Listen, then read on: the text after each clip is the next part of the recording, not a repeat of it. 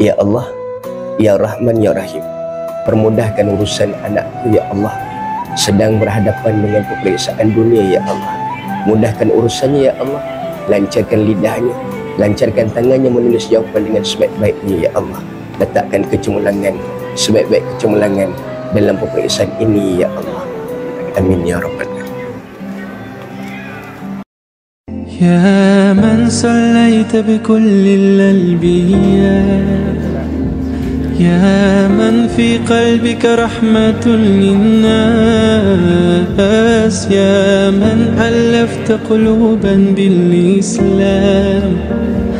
يا حبيبي يا شفيعي يا رسول الله في أمي وأبي.